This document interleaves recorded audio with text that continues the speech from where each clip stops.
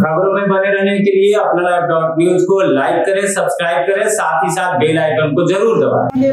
नमस्कार मैं गोपाल कुमार आप देख रहे हैं अपना लाइव डॉट न्यूज़ आइए अभी हम लोग आए हुए प्रोग्राम में जहाँ पे गुरु जी महाराज का प्रवचन चल रहा है यहाँ के लोगों से मिलते हैं और बात करते हैं गुरु जी के बारे में और लोग क्या संसार को संदेश दे रहे हैं।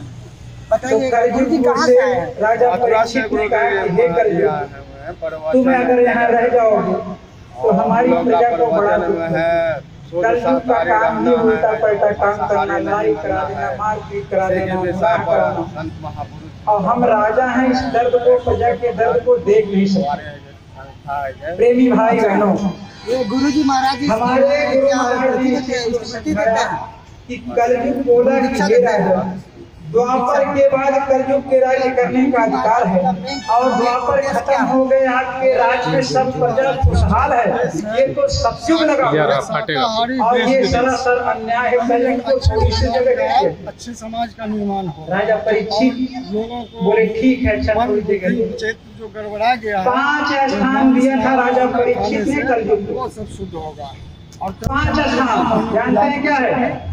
बनना मदिरा जब तक हमारे देश पीड़ा कनक में निर्भय देश को भ्रष्टाचार यही पाँच स्थान कलयुग को रहने के लिए राजा करेंगे। प्रेमी भाई बहनों, भारतवर्ष में अगर इसमें से पाँच चीज़ों में से हो, किसी भी चीज़ से आपका लेन देन है तो आपके घर में कलयुग का वास आदेश था। साठ वर्ष मदिरा वेश्या जहाँ जीव हिंसा हो तो में निर्भय कलयुग सोए। और जब तक ये पाँच चीज़ें हटेंगी नहीं देश की जनता खुशहाल होने वाली। और लोगों को शाकाहारी बनने के समझ लिए लीजिए। प्रेरित करते यही मेरे गुरु है हो है, तो हो पालन करना धीरे धीरे और आगे हो जाएगा। गुरु जी के महाराज जी लेकिन अभी जो बहुत बड़ा गुनाह तो हो रहा है। जीव हिंसा। महाराज जी कहना चाह रहे हैं जीव हिंसा जहाँ होगा वहाँ कलयुग का चाहे बकरी मारो चाहे सुगर मारो चाहे आदमी मारो। मदिरा वेश्या वेश्या का मतलब ये होता है जिसका कोई पति की गारंटी ना हो कितने हैं।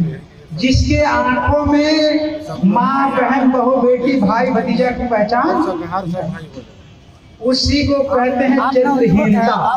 जिसके अंदर चरित्र नहीं है उसके ऊपर कलयुग को राज करने का अधिकार है।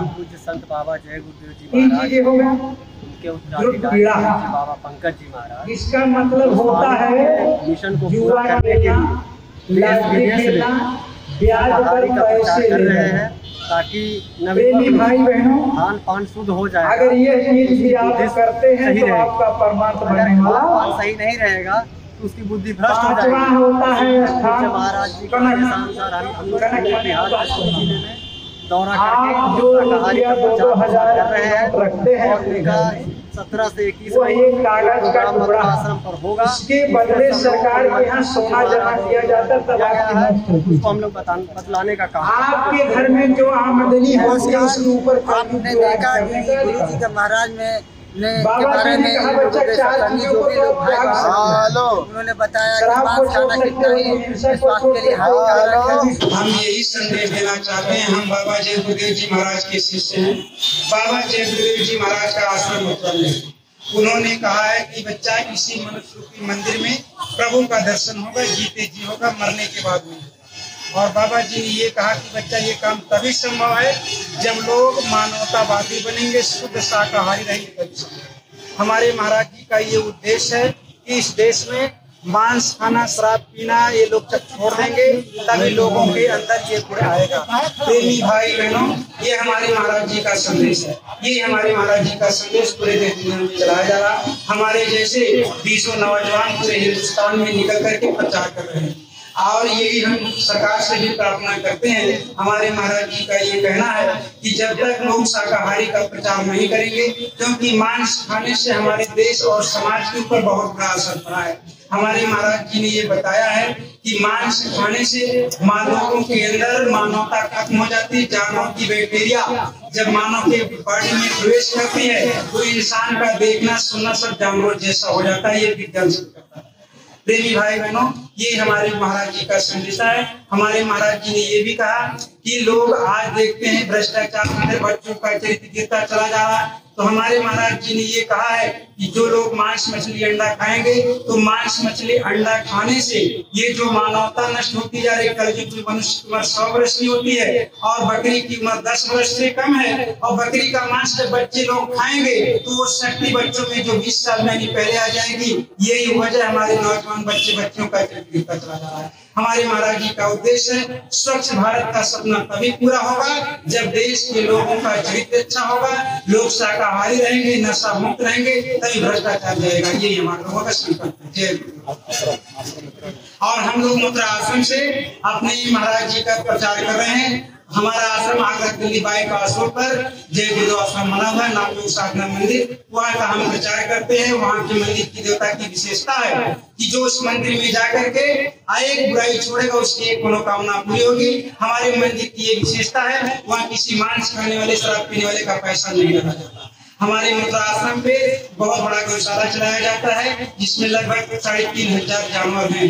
गायों की सेवा के लिए हम लोग अपने मेहनत, ईमानदारी के पैसे से चलते हैं। अन्य किसी से कोई पैसा नहीं लेते। अपनी नमक रोटी खाते हैं। अपनी नमक रोटी खा करके अच्छे समाज के निर्माण के लिए देश और दुनिया में हम लोग प्रचार करते हैं। ये हमारे जीवन का उद्देश्य बन गया है। भारत की धर्म धरती पे रामराज की स्थापना हो, इसके शाकाहारी का प्रचार करने के लिए हमारे महाराज जी ने कहा है, देश के नौजवानों सामने आ जाओ। तुम्हें नौजवानों को बदलना है जमाने का। तुम्हारे सर पे सहरा है, नया इतिहास लाने का। गुजरता जा रहा वक्त नाजुक दौर से जागो। तुम्हें सौंपा गया काम में ज़रूरत मिटाने का। देश की जनता के ऊपर जो भाया जा रहा है, इसको मिटाने का हम लोगों का संकल्प है। और ये संकल्प तब तक चलता रहेगा अगर भारत की धरती पर एक भी आदमी मांसाहारी का तत्व प्रचार करेंगे यही हमारा उद्देश्य है इसलिए हम शाकाहारी का प्रचार करते हैं। ये सत्संग के माध्यम से बाबा ये श्रद्धालुओं के बीच क्या उद्देश्य प्रकट करना चाहेंगे? क्या बताना चाहेंगे? हम प्रकट करना चाह रहे हैं की लोग शाकाहारी बने। और मानव शरीर में जीते जी प्रभु का दर्शन होगा और हमारे मथुरा आश्रम पर सत्रह मई से ये तेईस मई के बीच में बहुत बड़ा भंडारे का कार्यक्रम होने जा रहा है।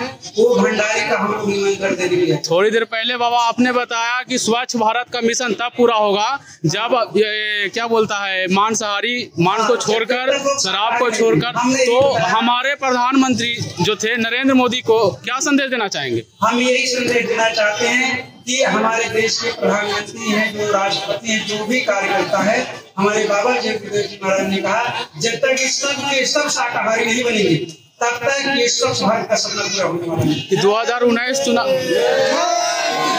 महाराज जी ये सत्रह मई से इक्कीस मई के बीच में जो कार्यक्रम उत्तराखंड आश्रम पर होगा उस आश्रम में प्रभु प्राप्ति का भेद बताएँगे जिस साधना को पाँच वर्ष का बच्चा कर सकता है, कलयुग के मलिन जीवों के लिए, जीवात्माओं के कल्याण के लिए हमारे महाराज जी ये साधना को बता रहे हैं, जो आज के सात सौ वर्षो में संतों ने जारी किया है। इस साधना को पाँच वर्ष का बच्चा कर सकता है, सौ साल का बुरा भी कर सकता है, और बहुत सरल तरीके से हमारे महाराज जी बताते हैं। और इसी मनुष्य रूपी मंदिर में बैठ करके मथुरा आश्रम पे आने जाने लोग बहुत बहुत इस करते हैं और जानते हैं लोग। बाबा, इस बार आप 2019 चुनाव में 2019 की चुनाव में किसकी सरकार बनना देखना चाहेंगे?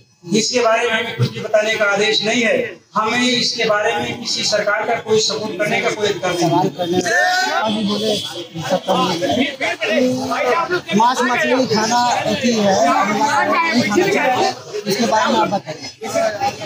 मांस मछली खाने से मनुष्य में पशु बुद्धि जागृत होती है उत्पत्ति होती है और व्यवहार भी प्रसिद्ध हुआ करता है। आज हम सब देख रहे हैं कि जितनी मांस मछली का और अंडा का संडे या मंडे हो, हर प्रकार से प्रचार किया जा रहा है। चाहे कोई भी मीडिया हो, प्रचार जो पशु पक्षी को मारकर खाने का जो प्रचार किया जा रहा है, हमारे अंदर उस वक्त बुद्धि बढ़ती जा रही है और मानवता घटती जा रही है। हम घर में भी देख रहे हैं कि मानवता हर तरह से धीरे धीरे हमसे दूर होती जा रही है। सद्बुद्धि, सद्भावना कोसों दूर चलती जा रही है। हमारे बाबा जी ने कहा है दारू मत छोड़ने के बाद मेहनत और ईमानदारी से जो काम करेंगे जो व्यक्ति कार्य करेंगे वही लोग से ये देश में समृद्धि लाई जा सकती है और विश्व में पूरी समृद्धि करी जा सकती है जब सबके सब मेहनत ईमानदारी से अपना कार्य निर्वाह करें। जय गुरुदेव। यहाँ पे जो ये प्रोग्राम करवा रहे हैं उनका क्या नाम है? संचालक यहाँ का